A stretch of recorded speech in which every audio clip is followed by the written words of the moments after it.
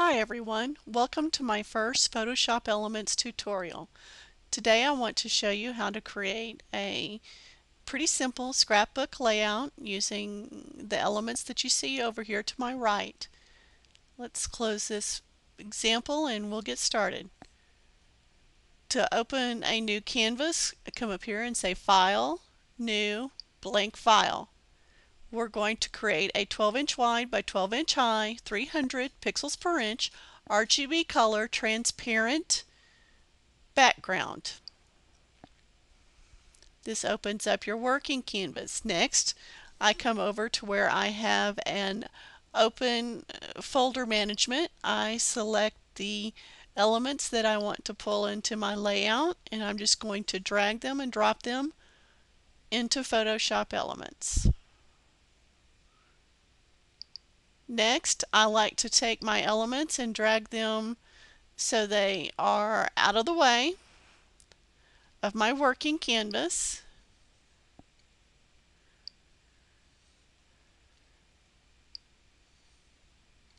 So I can drag, drag and drop them directly onto my working canvas.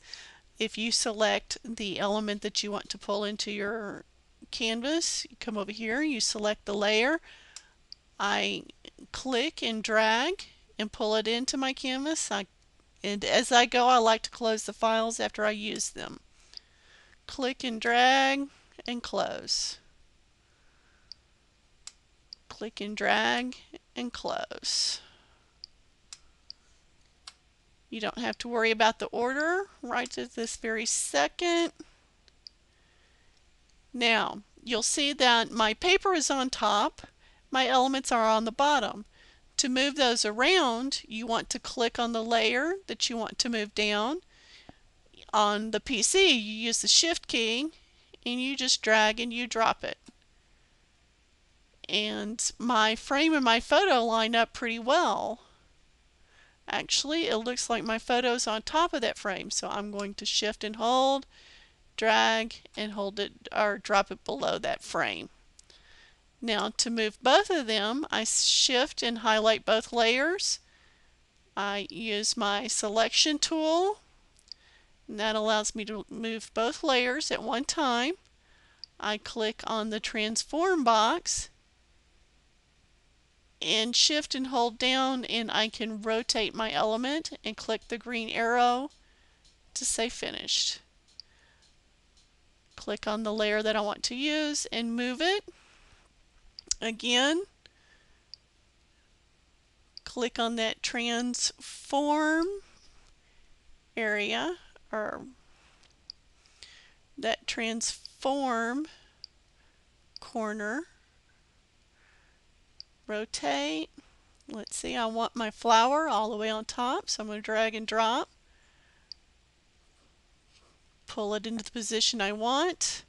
Click on that corner to get the transform tool, rotate it, click the OK button.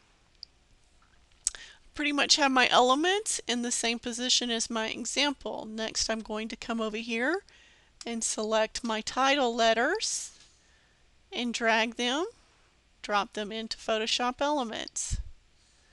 I like to pull them down out of the way. Same procedure. Select the element, drag and drop. Close. Select the element, drag and drop, and close. Select the element, drag and drop, and close. Now we have all of our elements. I'm just going to pull these into position. And it looks pretty much like our example. Um, I'm running out of time. I only get five minutes at a time, so I will come back with part two of our first scrapbook layout. Hold one second.